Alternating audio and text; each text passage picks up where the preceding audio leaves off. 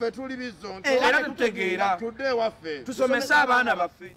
okuva bakazanyiriza abeyita bizonto lwe bafulumya akatambi akaviirako okubakwata nga balangibwa okusiga obukyayi mu bantu n'okusosola mu mawanga ensonga eno eyogeddwako nnyo. Mu kiwandiiko kyafulumiza eri eggwanga akawungeezi ka leero pulezidenti yoweri kaguta museveni avumiridde eky'abantu okwesigama ennyo ku mawanga ne balema okukola ebizimba ensi. Agamba newankubadde abantu balowooza akola n'abanyankole bokka ye tawulira mirembe nga be bamuliraanye mu mirimu gye era kimuwa nnyo emirembe ng'alina abanyankole batono nnyo oba nga tewali wadde n'omu. Awadde ekyokulabirako nti john mitala omuwandiisi wa kabinet era akulira abakozi ba gavumenti muganda ate debora katuramu w'ebunyoro yunus kakande owa ofiisi y'obwa pulezidenti naye muganda okuva e masuuliita n'abantu abalala.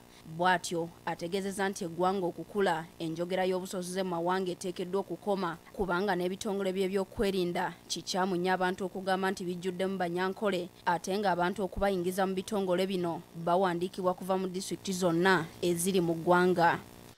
Year,